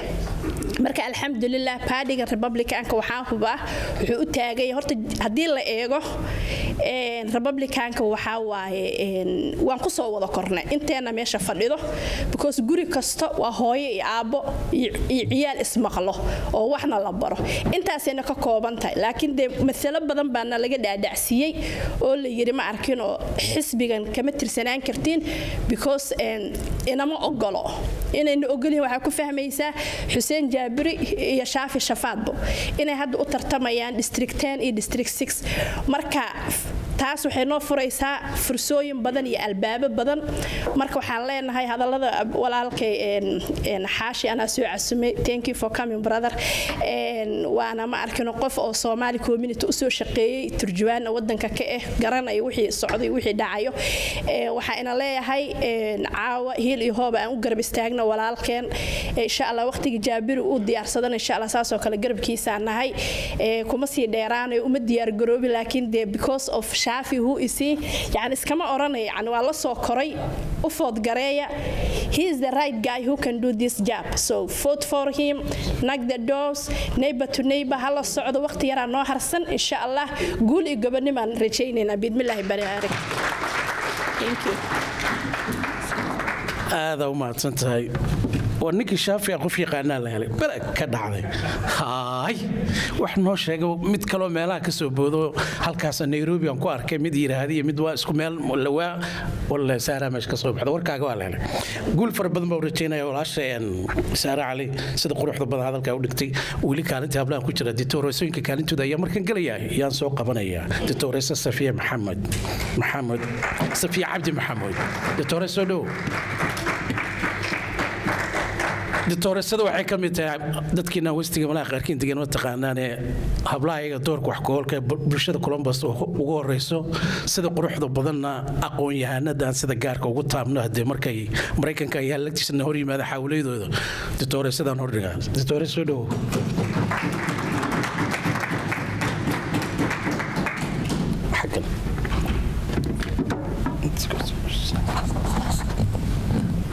asalaamu calaykum maaragtay alxamdulilah rabbilcaalamiin waxaan u mahadnaqahayaa dadkii xafladan soo abaabulay iyo dadkii igu casuumay. Aad baana ugu faraxsanahay.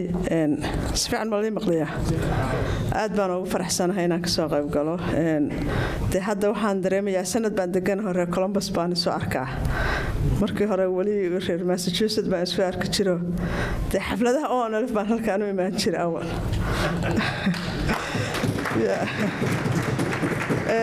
Aad baan maaragtay ilaahay waxaan guulga rajaynayaa walaalkay shaafi. Sidoo kale waxaan farxad gaara ii ah asaga iyo farxaan maaragtay albaab cusub bay noo fureen. Albaabkaasna waxaan ka rajaynayaa ilaahay inuu noqdo albaab taabaqaada oo guulaysta. Horta waxaan maaragtay muhiima dimuqraadiyaddu waa nagu cusub tahay. Sistamkan westereenka wuu ka duwan yahay dee dimuqraadiyaddii aan lahaan jirno odayaasheenna ku dooran jirnay.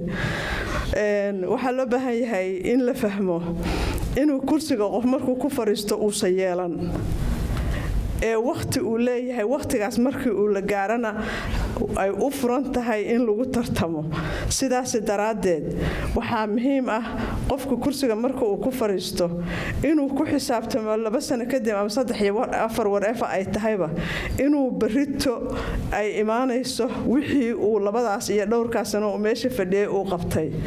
Taasina markuu qofku intaa fahamsan yahay waxay sabab ugu noqotaa inuu iska dhowro waxyaalaha uu berri inkiri doono ama dhibaatada u keeni doono waa run waa la tartamayaa. Tartanku rag wuxuu dhex maraa laba walaalaahu dhex maraa ilmaadeer buu dhex maraa isku xaafad buu dhex maraa. At the end of the day qofku markuu dimuqraadiyadda fahamsan yahay wuu ogyahay inaan lagu kala tegaynin oo berri laysu soo noqonayo. Laakiin marka uusan si buuxda u fahamsiisnayn waxay noqonaysaa meeshan in lagu kala guurahayo. Waana meesha soomaalidu tiraahda doqontu marka la xisaabtamahayo waxay moodaa in la kala tegahayo la xifaaltamahayo maaragtay marka insha allaahu walaalkeen iyo qofka tartamayaasha ah maadaama uusan hadda ka hor xilkan qabanin wuxuu xaq u leeyahay inaan fursad siino inaan ku taageerno. Qofku marka uu cusub yahay lagulama xisaabtami karo ilaa jegadii muuse soo fadhiisan. Xaq buuna marka qof kasta walaalkiisa inuu taageero ugu leeyahay. Laakiin markuu kursiga soo fadhiisto wuxuu lagula xisaabtamayaa intuu fadhiya wuxuu soo qabtay. Maaragtay waxaan rajaynayaa anigu waan ka xumahay inaanan dee weestiga deganayna codsiin karin. Laakiin hiil iyo dhaqaale iyo taageero iyo abaabul wixii aan kala qaybgeli kara waan kala qayb Vem, Canas. Idinkana waxaan rajaynayaa sidoo kale. Qof kasta qaraabadiisa iyo ehelkiisa iyo saaxiibbuu ku leeyahay weestiga marka taageeradaas waa inaan kulligayo maaragtay insha allaahu ka wada qaybgalno shaafi adiga iyo farxaan albaab cusub aad noo furteen albaabkaasna waxaan rajaynayaa dadku say u badan yihiin qalbiga inay maaragtay faaliyuga marka ay noqoto yaan la wadaagnaa albaabka aad noo furteen baan moor faaliyu la wadaagnaa. Waan idin salaamayaa. Asalaamu calaykum wabarakaatu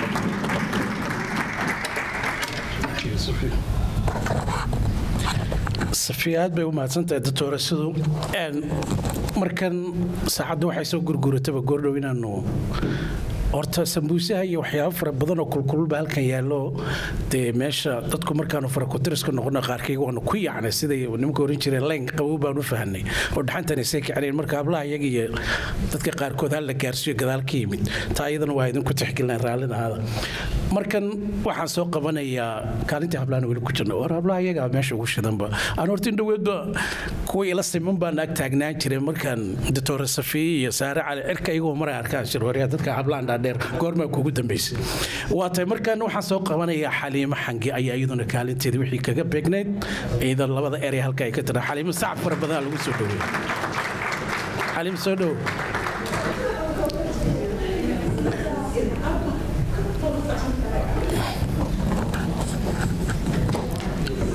Gabdhahay waa iska xishood badiya sacabkaa lagu soo dhaweeya haddaa araggii xaggaan aad u soo jeed sacab ku soo dhaweey marka hore saadhaha waash sidaasay ku qurux badan tahay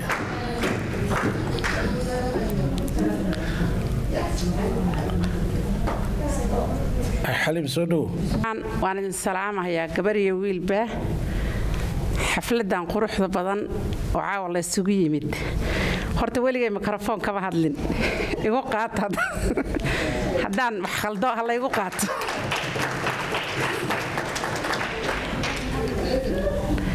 muhiimadda meesha la isugu yimid wiilkaas aneedada u ahay shacaafi horta waxaa ficnaan lahayd inaan cod siin karo. Ma aqaano wiilka kale jaabir inaan siin karo ma aqaano laakiin ma siin karo shaafi.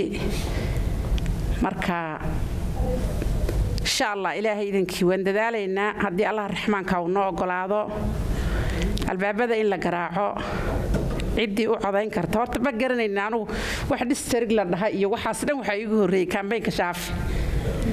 Cidda aanu codayn karo cidda aanu u codayn karin maba garanaynin. Laakiin hadda maxaan ku dhahay shaafi wuxuu noo noqday cashir.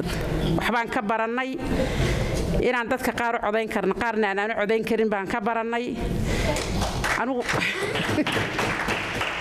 weligay anugu kaambayn madaxweynaha bes baan u codeeyaa. Uma codeeyin weligay wax kale uma codaynin. Madaxweynahana qoladii qoomaluudkaan u codayn jiray marka hadda kadib sharci baa ka yaalla. Horta qoladaa waxaa leeyahaa kiiskooda ha soo xidho.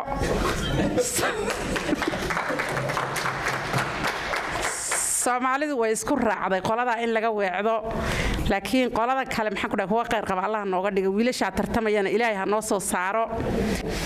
Xilka la qabanayo communitiga ha loo qabto soomaalida ha loo qabto hooyooyinka ha loo qabto carruurta ha loo qabto.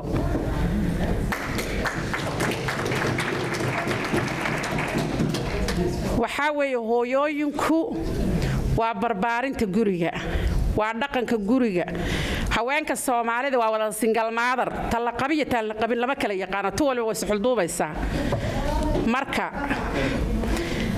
haweenka ha la caawiyo.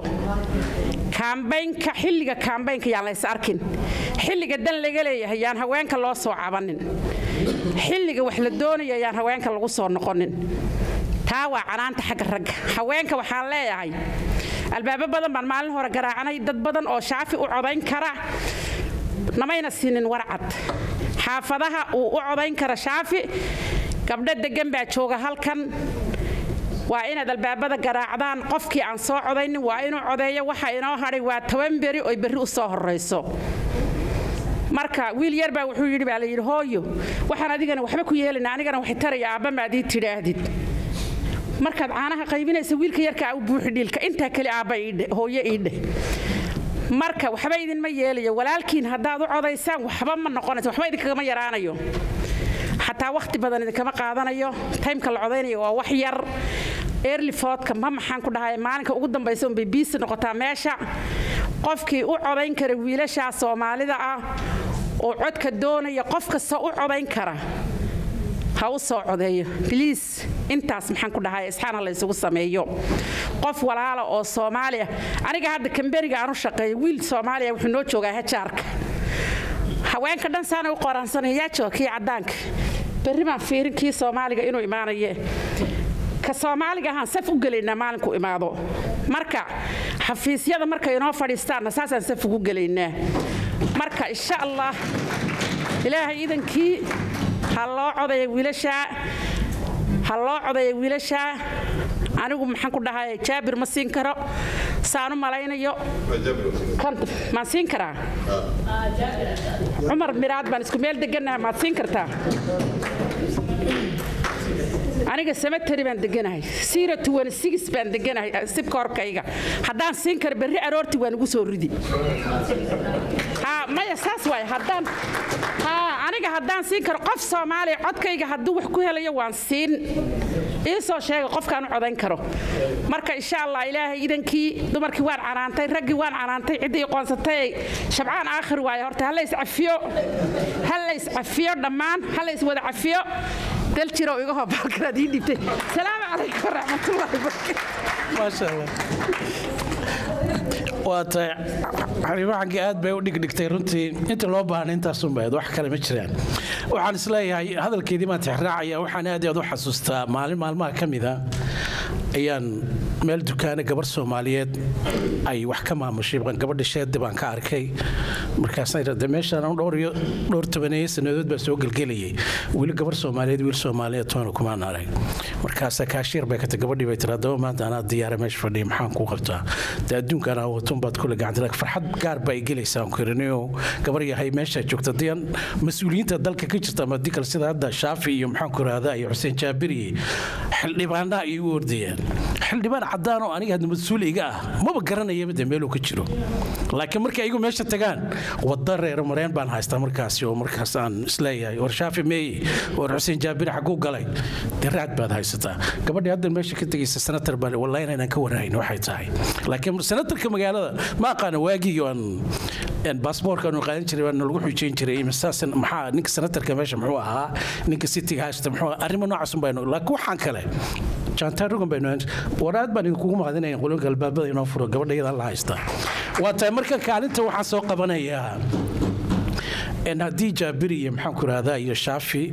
allah awoodi loo ogolaado nasiibkunu saamaxo. Ilaahayna garabgalo dadaal fara badan samayno.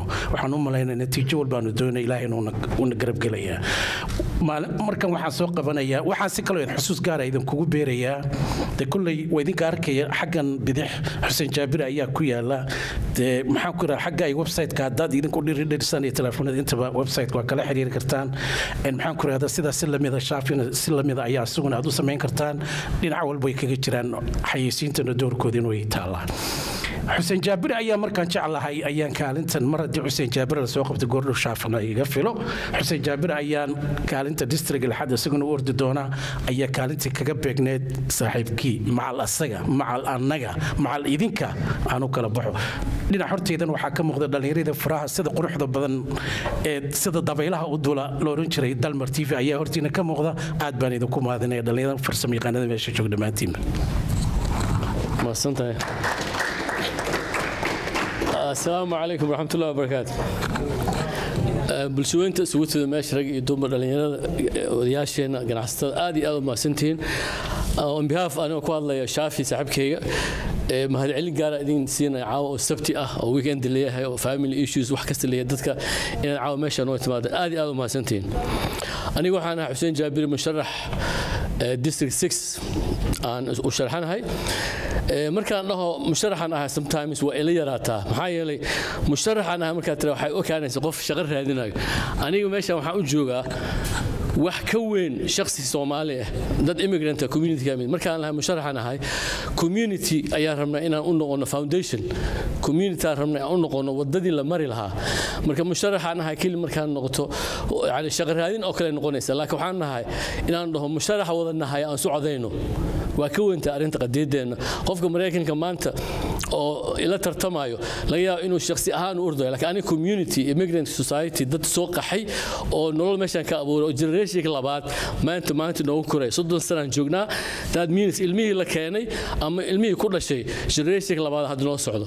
Marka waa ka weyn tahay arrinteena musharax keli ah community magaceeda ku taagannahay wadda cusubna maaragtay waan jeexnay. Sida dad badan ay ka dhawaajiyeen dad badan oo maaragtay shaqooyin kale heli karo oo aqoontiina leh khibradiina leh maraykankan wax ku bartay ayaa jira oo musharaxiin ah. Shaqooyinkan shaqo ka fiican heli karaan laakiin community service waa sacrifice community loo sameynayo ase immigrant ahaan waxaan ka imaanay safar aad u dheer. Waa soo qaxnay waddankaan la imaaday waxbaa lagu bartay sharci aan helnay hadda waxaan u gelin levelkii labaad oo ah inaan ka mid noqono bulshaweynta meeshan. Maamulkii aan ka qayb galno annagan aan noqono dadkii saamin lahaa si ilmaha jiilka soo socdo ay uga faa'iidaystaan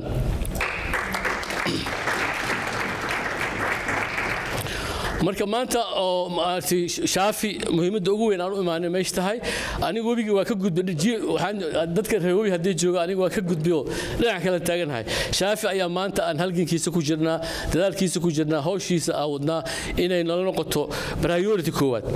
Muhiimaddaasina waxay tahay in la codeeyo codeynta ma aha keli in la tago oo sanduuq lagu codeynta waa mas'uuliyad. Qofka markii baasboorka la siiyo baasboorkana looma siina keliya inaan ku safarno.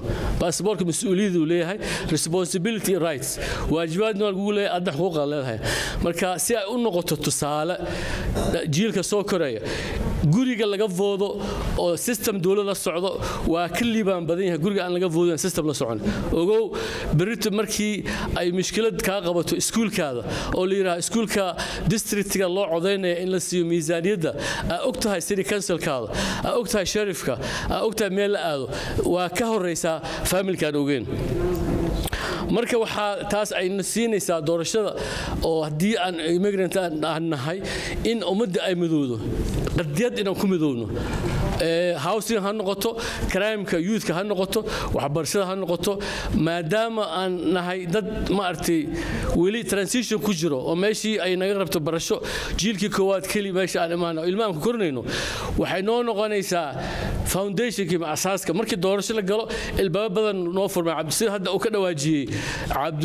Daljir dad badanaa hadda markii ayna weydiiyaan noo codayaan waxayna weydiiyaan horta maxaa qabataan? Muxuu yahay? Marka waxaa la isku qaldaa badi city councilka iyo stateka representationka. Marka taas keliya annaga wax noo ah faa'iido noo ah. Tusaale kale aan soo qaadanaya doorashada markii aniga aan galay oo aan ku jiray groupka endorsement la siiyey habeenkii endorsementiga waxaa nala weydiiyey su'aalo. Oo maxaa sababta? Qof kasta la weydiinaya taariikhdiisa waxbarashadiisa aqoontiisa. Su'aasha ugu muhiimsan la weydiiyey waxay ahayd lix su'aal la weydiiyey. Markii su'aasha ugu dambeysay maxaan ku dari lahaa layidhi waxaan ku dari lahaa nahay anigoo immigrant ah meeshaan imid. Waxaaba aniga doorashada inaan galo aan coday waxaa igala muhiimsan gelitaanka doorashada aan galayo wadanka waddamada adduunka ugu weyn. State of ohio waa stateka toddobaad ugu dhaqaalo weyn maraykanka. Iyo inaan ka qaybgalayo doorashada state of ohio anigoo imid meeshaan oo wadankii lagu soo dhoweeyey oo dhalasho la isiiyey maanta inaan noqdo dadkii shalay aan u ahaa marti inaan dowladnimadooda ka soo qayb galo ayaa wax kasta igala weyn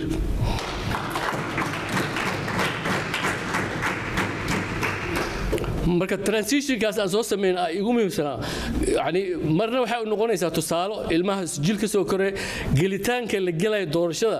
Yani waa muhiimad maraykan oo wadankii adduunka ugu weyn state of ohio wadankii toddobaad state toddobaad ugu weyn taas keligeed achievement inaan galo doorashada aan cod helo waxaa noogu muhiimsan systemka socdo oo laba boqol sano jira annagoo shalay imaano inaan ka qayb galno ayaa muhiimada koowaad ah marka waxaan ku dardaarmayaa hala codeeyo shaafi maalintaas waa noo baahan yahay. Saa idinku sheegay ani endorsmentan haystaa laakiin stiil waxaa nalka rabaa in dadka abaabulno. Sanad kasta aan doorashada galno waxaa soo bata numberka oo codeynayo. Walaalkeena jt waddada noo jeexay waxaan filaynaa in every year every candidate oo noo soo baxo in ay noo soo noqon karo dadkeena sii badanayo. Tirakoobkii ugu dambeeyey 58000 ahaa numberka am sure markii sanadkaa la doorto oo dib loo fiiriyo codkeena inuu sii badanayo. Marka waxaan rabnaa maalintaas 19 march in baxo oo la codeeyo sidoo kale lasu diyaariyo general electionka. Waxaa kaloo aad idinka codsana walaal asxaabta in registration la sameeyo. Wadankan state of ohio shuruudo ay leeyihiin qofka aan registered ahayn ma voodi karo. Statedii waxaa jira la dhaho same day registration same day vote. State of ohio waxay rabtaa in la registration la sameeyo bil ka hore. Marka fadlan dadka ha loo sheego muhiimadda registrationka uu leeyahay intaan la codeyn registration inkastoo hadda deadline kana dhaafay laakiin ha lagu talagalo general electionka dadka in la baro registration iyo mar kasta aad guurtaan in adress kala bedelo aad iyo aad mahadsantihiin mar koowaad mar labaad waxaan ku soo dhaweynaya walaalkay shaafi horta cabdinuur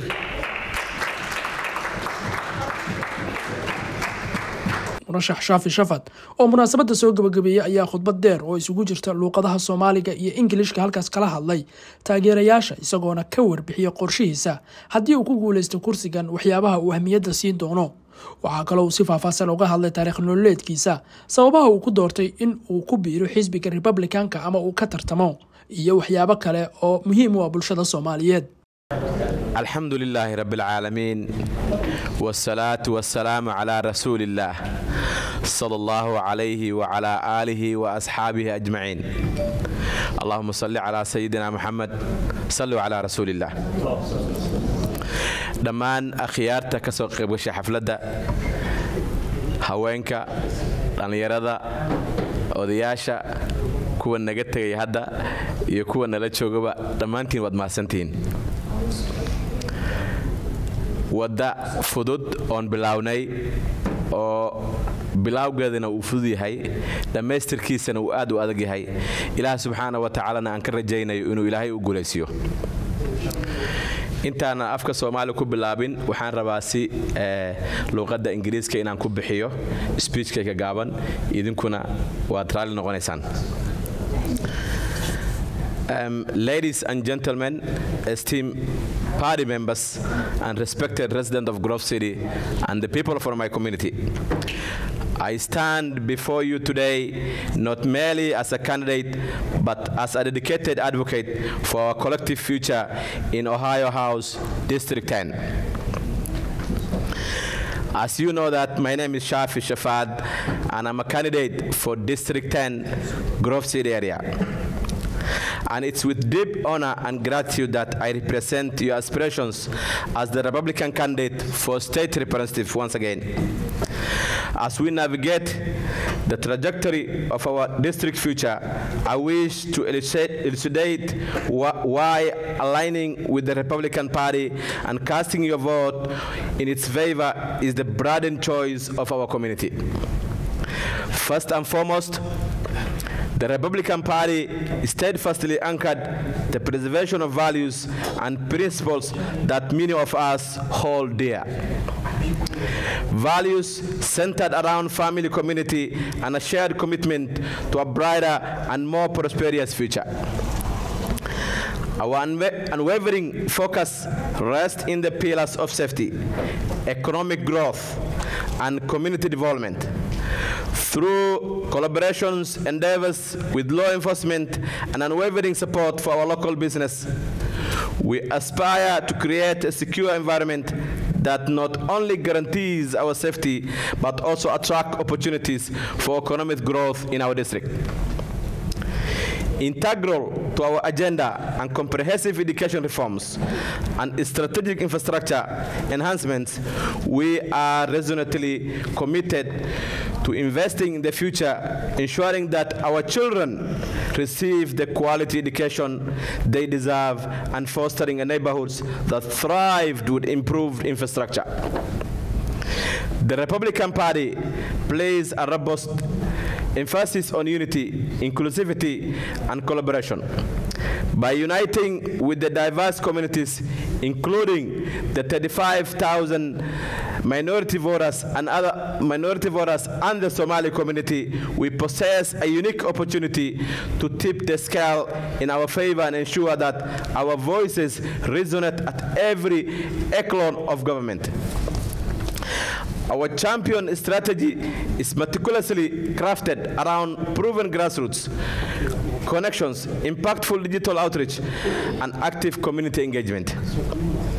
This guarantees that your concern and aspirations are not merely heard, but are integral to the overreaching agenda we seek to implement. As we confront the challenges that lies ahead, I genuinely believe that joining the Republican Party and voting for our shared values is the definitive pathway to a brighter future for District 10. I'm here as your tireless advocate, prepared to address the issues that matter most to each and every one of you.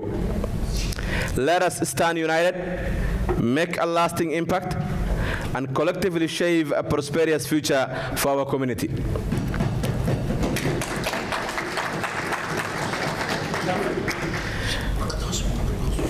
I am deeply honored to have your support, and together we can make history. Join us in this endeavor and let your voice be heard through the Republican Party. I implore to cast your vote for Shafi Shafat, rallying the hearts and the minds of more than 40,000 strong minority communities. In doing so, we can secure a victory and reclaim the greatness of Franklin County.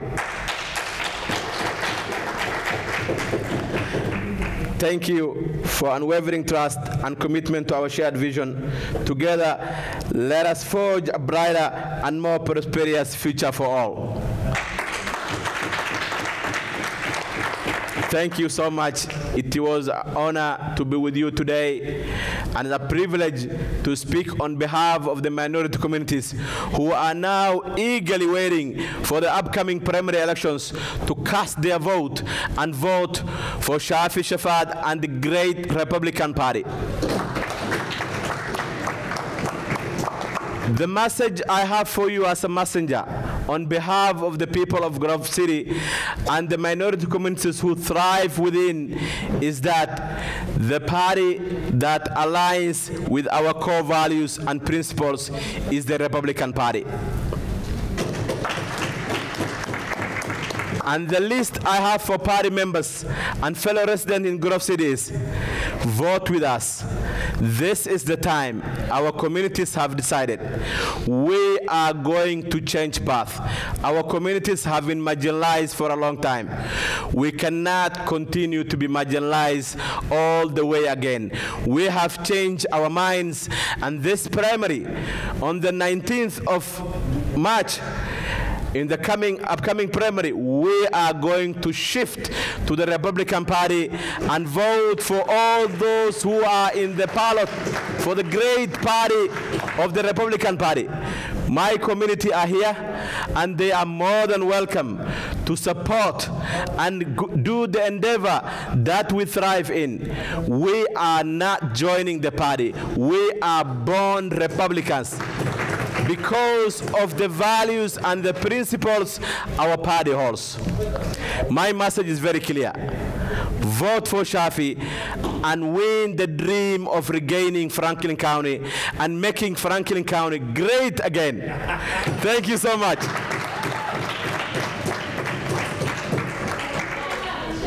Aad baad u mahadsantihiin. Sharaf baa ii tahay inay maanta i garab joogaan ciyaalkayga iyo ciyaalaan adeer u ahay dhammaantood. Aad baad idinkuna u mahadsantihiin. Runtii waxaa wanaagsan. Qofka bini'aadanka inuu ogaado waxaad ogtihiin annagu waxaan nahay dad sharaf leh oo soomaali la yidhaahdo oo luuqad hal ku hadlo oo hal diin haysto oo hal waddan ka yimid ha oggolaanina hana ka yeelina inay idinku qaybiyaan waxaan dalkii ku soo gubnay. Ilmo adeerayaal waxaad ogaataan dadkaa maanta ii horfadhi ani qabiil iguma imaan nin qabiilina ma ihi ninkii igu nacaya ha igu naco ninkii igu jeclaana ha igu jeclaano. Dadkaa ii horfadhiya maanta waa dad soomaaliyeed. Wanaagga aan kala mudannahay bay halkaa u yimaadeen. Waxaanan rajo qabnaa jiilka aan ka tegayno taariikhda waddankan dib u baara. Waxaa jira communitiyaal aan soomaali ahayn oo muslimiin ah oo boqol sano dalkan nooga horreeyey oo intay imaadeen isu qabsadeen sidaan isu qaqabsanayno oo intay degeen odayaashii masaajidada ku tukan ay ku tukadeen boqol sano kadibna maanta library masaajid ahaa iyo meel hadda kiniisad loo bedelo masaajid ahaa iyo qubuuro magacyadooda ku yaalla ayaa ka hadhay miyaan doonaynaa inaan kuwaasoo kale noqonno jawaabtu maxay tahay? Maxaa la rabaa inaan samayno? Walaalayaal midnimada wax inooga wanaagsan male dad soomaaliyeed oo ganacsata oo gacanta hoorsan oo shaqaysta oo dhibaatada u soo dul adeegay. Waxaad og tihiin maanta cunuga xamar ku nool ama hargeysa ku nool ama jigjiga ku nool oo aan iskuul haysanin oo buraashaya kobaha u buraashaya ilmaha da'diisana ay iskuullada tegayaan miyaad dhibsanaynin markuu cunugaaga iskuulka qurux badan uu tegayo firiishkana uu jirto cunto wanaagsan. Miyaad dhibsanaynin kaas inuu helo nin hoggaan daacad ah.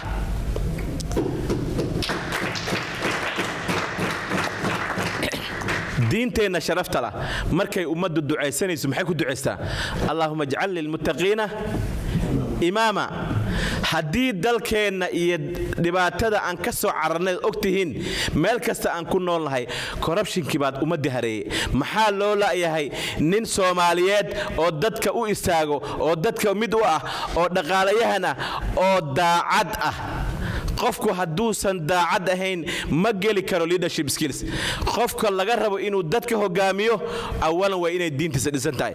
Ballan baan idinka qaadayaa inaanay idin keenin wax diinta islaamka ka hor imaanayo nooc kasta ha noqotee.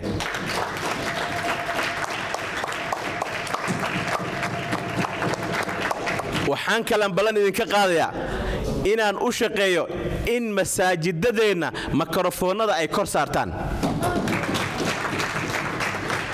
waxaa kaloo idinka ballanqaadaya anigu nin ganacsi baan ahay. Khabiir ganacsi baan ahay. Dadka soomaalidna markii taariikh nala qoraya waxaa nala qoraa dad machant inaan nahay oo ganacsato ah dadka ganacsatada ah oo la doonahaya dalka inay ku noolaadaan ma nihin dad dowladda maraykan gacmaha hoorsado. Inteenna meesha dhammaan ganacsi baan nahay waxaan u baahannahay in aan ganacsigeenna kobcinno. Ganacsatadeenna weeraro fara badan baa ku socda. Waad ogtihiin dhibaatadana haysato. Waxaad ogaataan fariin baa idin diraya waddankan unionsaa lagu wada nool yahay oo la wada gale minority business certifications nimanka la yidhaahdo markaad gasho difaac baad yeelanaysaa. Haddaadan gelin dadka aad umalanayso inay ku difaaci karaan looyaro qabsanan dad badan baa jira oo dalka nala degan oo na doonahaynin. Ballan waxaa idinka qaadayaa in ganacsada soomaalida oo marna covid-19 u baabi'iyey marna uu dagaalkii china iyo baabi'iyey marna uu baabi'iyey recessionka ay dowladdu qarinayso marna uu baabi'iyey. Mataqaanaa xaaladaha ay ku jiraan inaan ganacsatada u helno si ay u helaan lacaga dowladda ay ka helaan? Waxaad ogaanaysaan department of development waxay diyaargaraysay lacaga aad u fara badan oo dadka soomaalida la siinahayo oo loogu talagale dadka muslimiinta oo anigu aan proponent ka ahaa. Dib baad u fiirin kartaa ohio channel. Anoo propose garaynaya in dadkeenna ay helaan lacagaha iyaga iyagoo aan interest lahayn. War diintiina ilaashada war dadnimadiina ilaashada. War ciyaalkiina ilaashada. War calooshiina xaaraanta ka ilaaliya. War been dowladda ha u sheegin. War haddaad calooshaada wax xaaraan geliso ducadaan lama aqbalayo salaadaan lama aqbalayo wanaagna ma helaysid ilmahaadana gang bay noqonayaan ilmaheedana way isdilayaan. Innaguna waxaan ku dambaynaynaa sida jiilka u dambeeya dad muslimiin baan nahay diinteenna sharaftale ilaasanno walaalo aan noqonno qalbigaan isku furno. Maanta waxaan rabaa intiina meesha fadhiyada ile ballanqaadaan. Qof kasta oo halkan fadhiyo qofka walaalkii inuu cafiyo anaa ka bilaabaya dhammaantiin waa idin wada cafinaya war dad muslimiin baan nahay oo diin leh. Maxaan annagu dhulka isku dhigaynaa? Ganacsata baan nahay. Ma ogtihin inaan ku leenahay ganacsi ka badan saddex iyo toban kun magaalada gobolkan ohaayo ma ogtihiin lacag laba bilyan ka badan inaan dib ugu celinno oo genereet aan u samayno stateka ohaayo maxaa diidahaya inaan midnimo abuurno? War midnimo ma abuuran karnaa? Anigu waxaan ahay xildhibaan u taagan dhistriga tobnaad waxaa idin doonaya garab inaad siisaan. Ma rabo inaan arko soomaali kala jeeda. Ma doonahayo inaan arko soomaali. Magacaygu waxaan ku isticmaalayaa anigoo ina axmed ah oo aad dadkayga u soo taagan inaan dadkayga horumar gaarsiiyo. Dadkaygana waxaan horumar ku gaarsiin karaa markay mid yihiin. Mid noqda nabadgelyaan haysannaa firiijyada cuntaa nooga buuxda dadkeenna dhaqaalaan haysannaa dadka dibadda aan uga soo tagnayna u dadaala idinkuna mid noqda inaad ii soo istaagtaan baan rabaa. Ilaa shan iyo toban prinsid wax ka badan ayaa ku yaalla xaafadayda. Maalinta electionka waxaan u baahanahay dhallinyaro dhallinyarada imaqlayso waxaan u baahanahay hooyooyinka hor fadhiyo gabdhaha iyo wiilasha inay soo dirtaan albaabada aan garaacno kursiga haddaan ku soo galo anigu igu khasaari maysaan. Warkayga waxaan ku soo gebagabaynayaa aad baad u mahadsantihiin sida sharafta aad oga soo qayb gasheen barnaamijkan waana idin wada salaamayaa waanaad mahadsantihiin wasalaamu calaykum waraxmatullahi wabarakaatu